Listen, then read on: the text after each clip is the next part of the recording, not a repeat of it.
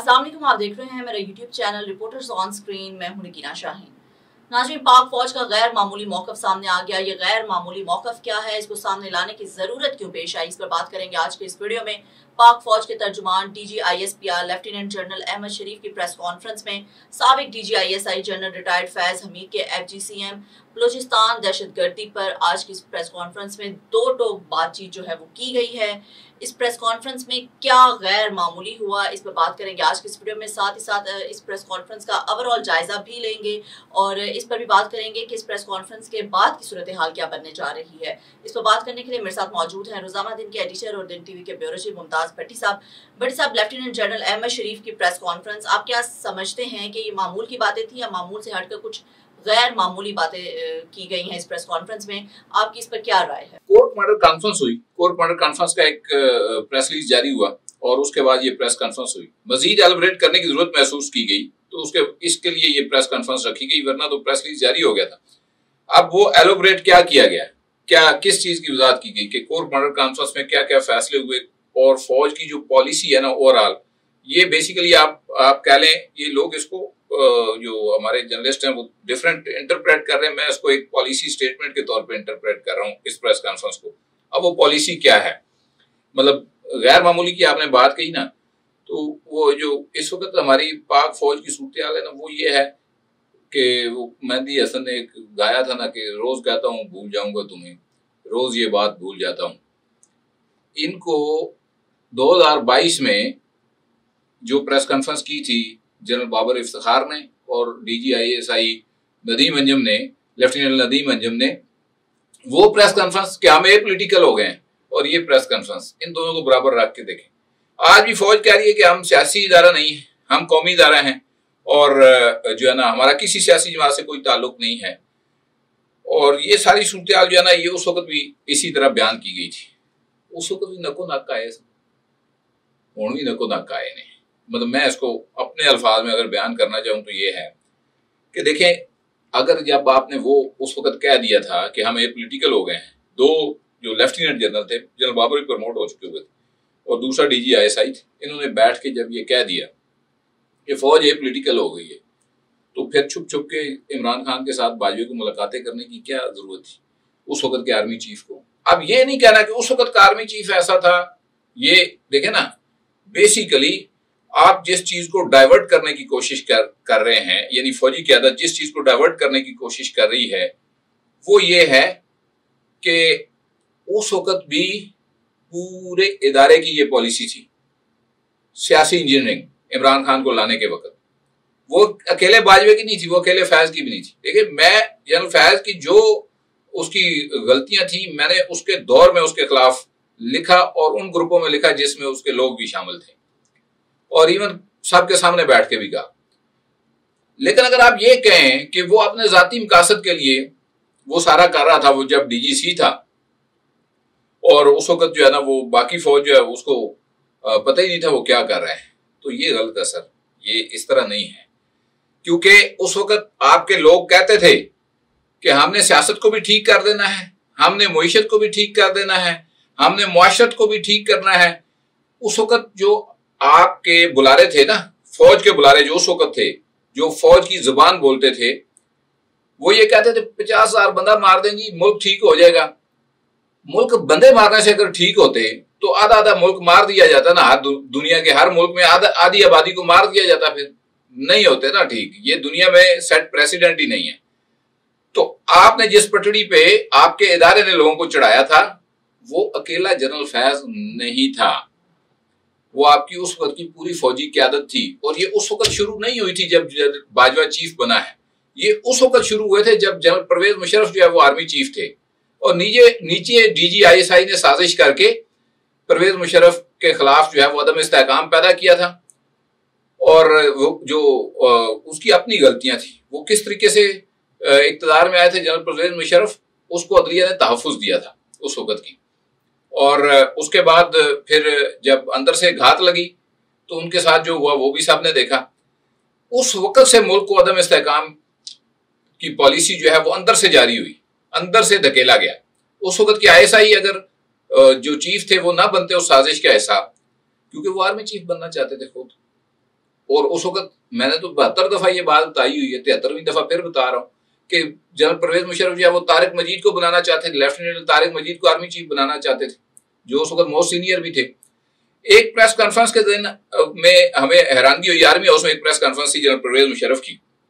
بطور army chief, general Kayani لہٰذا D G I S I آگے بیٹھے ہوئے تھے۔ یہ ان کے آخری جب رولا گولا شروع ہو چکا تھا اس دوران۔ تو اچانک ایک کوشچن کیا گیا۔ میرا خیال ہے وہ ایک ڈیفینس جرنلسٹ ہیں، انہوں نے کوشچن کیا وہ القاعدہ کے حوالے سے۔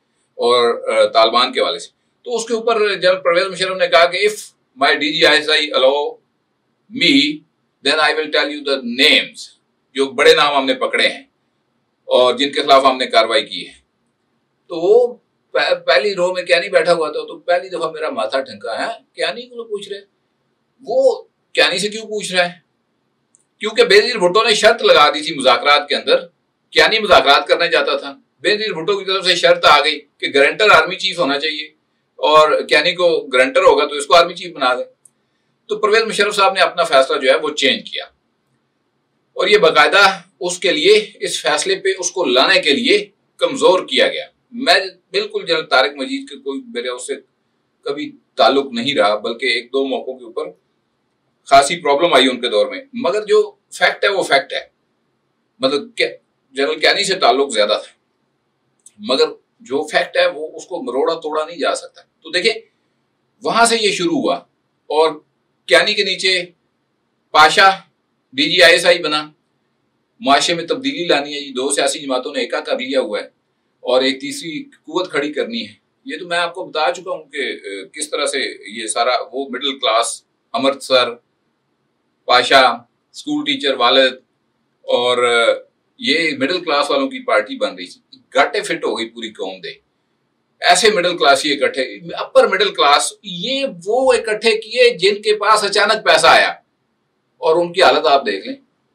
خیر، تو یہ جو صورتحال تھی نا جی یہ وہاں سے شروع ہوئی ہے۔ اور کرتے کرتے یہ پہنچی ہے یہاں پر۔ ریسنٹ یہ جو فیز ہے، میں اس کی بات کر رہا ہوں۔ پہلے کیا ہوتا رہا، میں وہ ستر سالہ ہسٹری میں جا ہی نہیں رہا۔ اب بہت سارے لوگ جو ہے جن کا بالخصوص پی ایم ایل این کی طرف ٹلٹ ہے، وہ اس بات کو اپریشیٹ کریں گے چلیں جی فوج نے آپ بھی فیصلہ کر لیا تو ہر باری کر دیے بھائی۔ کیڑی نوی گل ہوئی ہے۔ ہر دفعہ ایسا ہی ہوتا ہے نا۔ تو اگر فوج یہ پولیٹیکل ہو گئی تھی، تو یہ جو الیکشن تھا، یہ جو فروری میں ہوا، تو وہ پھر رزلٹ جو تھے، آنے دیتے۔ اس کے اوپر پھر جو گفتگو ہوئی ہے، وہ لے آئے ریکارڈ کے اوپر۔ یہ پولیٹیکل ہو جائیں۔ پھر جب آپ نے عوام کے فیصلے کے ساتھ چلنا ہے تو پھر ادھر چل پڑے۔ دیکھیں، آپ کہتے ہیں کہ ابھی بھی ہم معیشت میں یہاں یہاں ان پٹ دے رہے ہیں۔ آپ کہہ رہے ہیں کہ جناب، ہم جو ہے انلیگل سرگرمیوں میں بھی اپنا ان پٹ دے رہے ہیں۔ آپ یہ کہہ رہے ہیں کہ ہم دہشت گردی کے خلاف بھی لڑ رہے ہیں۔ آپ یہ کہہ رہے ہیں کہ یہ جو انلیگل اسپیکٹرم ہے، اس کو بھی ٹھیک کر رہے ہیں۔ ایس آئی ایف سی میں بھی ان پٹ کر، دے رہے ہیں۔ ہمارا بندہ chairman F P S C بھی ہوگا۔ اس کو بھی ٹھیک کرے گا میرٹ کے اوپر۔ اور آپ ایک تقرری پہ کل رولا مچا نا، مجھے تو پتا تھا وہ ریٹائرڈ نہیں ہوئے۔ یہ جو لیفٹیننٹ جنرل اختر نواز ستی ہیں، ابھی ان کے ڈیڑھ دو مہینہ پڑا۔ مگر آپ دیکھیں کہ chairman F P S C retirement سے پہلے تعینات کر دیا۔ گورنمنٹ نے خبر لیک کر دی کیونکہ وہ ناصر کھوسا کو شباز شریف لگانا چاہتا تھا۔ لیک ہونے سے کیا تاثر بنا؟ کہ یار ہے نا تو ریٹائر ہو تو پہلے نوکری مل جاتی ہے۔ یہی بنا نا۔ اگر کوئی اور بنا ہے تو مجھے کریکٹ می اگر آپ کی سمجھ میں کچھ اور آیا تو۔ خیر، اب دیکھیں، وہ ادھر آ جائیں گے۔ ایک، جو لیفٹیننٹ جنرل ہے سٹنگ اس وقت، ان کو نیشنل نیشنل پاور جو وہ ریفارم وہ بنائی گئی ہے۔ کمیٹی اس کا کوآڈینیٹر بنایا گیا ہے۔ Task force sorry task force lieutenant Zafar Iqbal وہ ایئر ڈیفینس والے، جن کا میں نے کہا وہ ایویڈینس وغیرہ ریکارڈ کر تو فیاض امید والا، تو وہ اس کے ہیں سربراہ۔ اچھا وہ کام اچھا ہو رہا ہے۔ آئی پی پیز والوں کو بلایا، ان کے سارے آڈٹ وہ پکڑے گئے ڈاکومنٹس اٹھا لیے ریکارڈ اٹھا لیا اوور بلنگ ہوئی ہے۔ میں نے آپ کو بتایا ٹو بلین ڈالر سے زیادہ کی ہوئی ہے۔ ان کو بلا کے ہاں بھائی ری نیگوشیٹ ہو رہا ہے، مگر پردے کے پیچھے ہو رہا ہے۔ یہ میں بتا رہا ہوں آپ کو، میں نے پہلے بھی اس کے اوپر خبر آپ کو دی تھی۔ یہ اچھی بات ہے، مگر جب یہ کوئی الٹ پڑ جائے گا، دیکھیں نا جی آپ اس وقت جو صورتحال ہے بلوچستان کی اور جو کے پی کے میں ہو رہا ہے، میاں والی تک جو ہو رہا ہے، یہ بڑا امپورٹنٹ ہے۔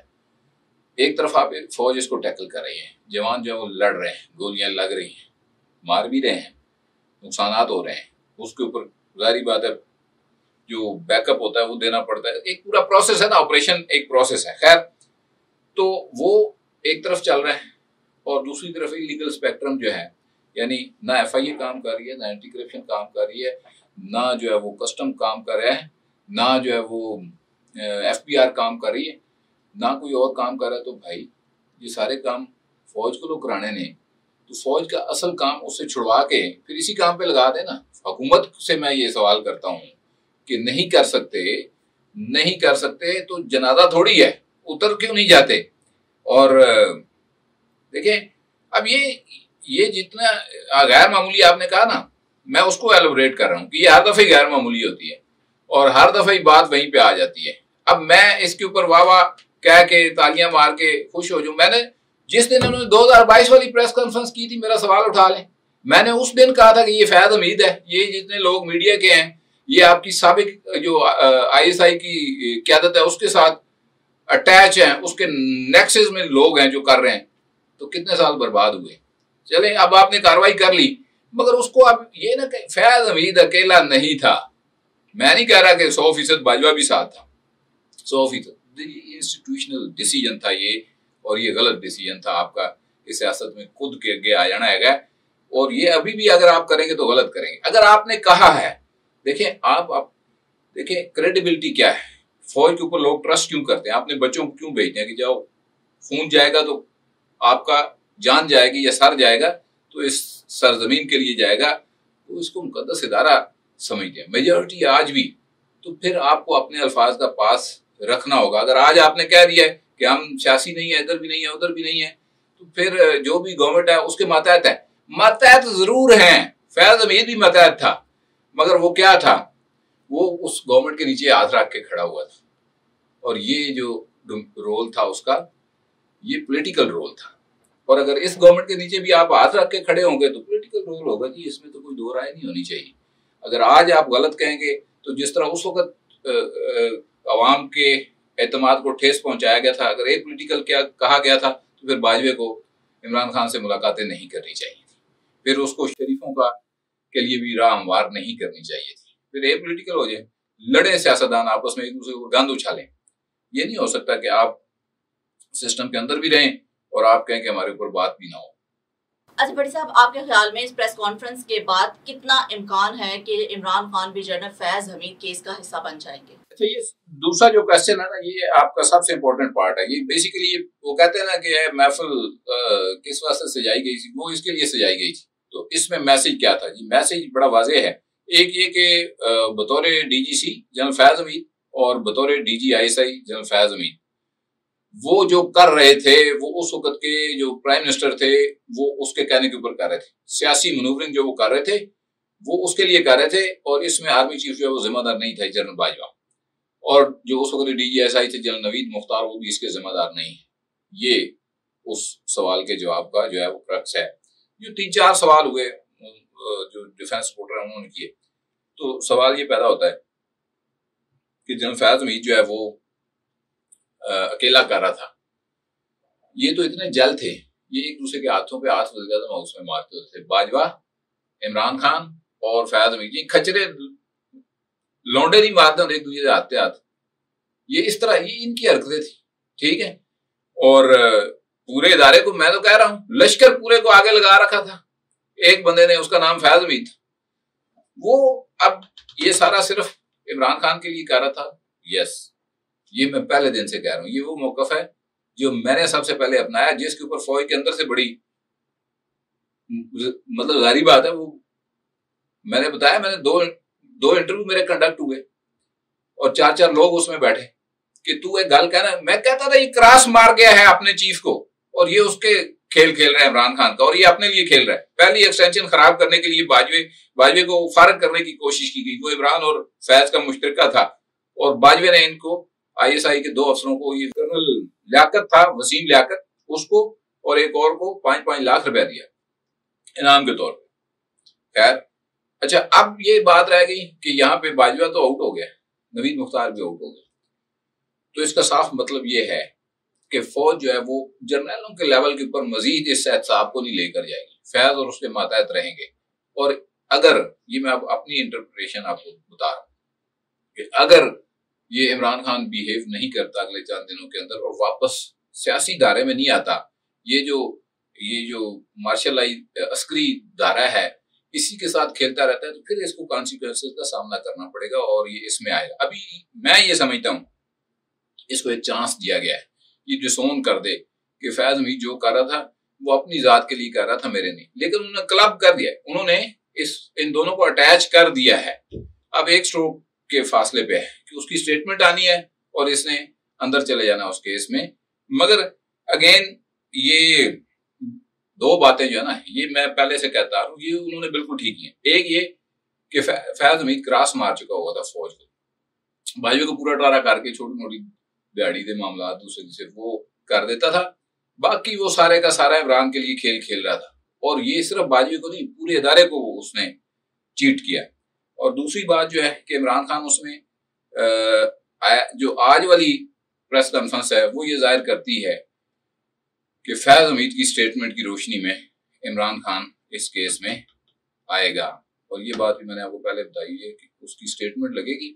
اب ڈپینڈ اس پہ کرتا ہے کہ وہ اسٹیٹمنٹ باجوے کے خلاف دیتا ہے یا عمران خان کے۔ اور ویسے میری اطلاع یہ ہے کہ ابھی تک جو صورتحال ہے وہ ابھی تک بہن بہن ہے۔ ابھی تک اس نے کسی طریقے سے بھی کوئی ایک بات نہیں کی۔ بہت شکریہ بھٹی صاحب، آپ نے آڈینس کو اپڈیٹ کیا، ناظرین تھی آج کی اپڈیٹڈ ویڈیو جو ہم نے آپ کے ساتھ شیئر کی۔ امید ہے یہ ویڈیو آپ کو پسند آئی ہوگی۔ اس ویڈیو کو زیادہ سے زیادہ شیئر کریں لائک کریں۔ چینل کو ضرور سبسکرائب کریں اور اپنا فیڈ بیک نیچے کمنٹس میں دیں۔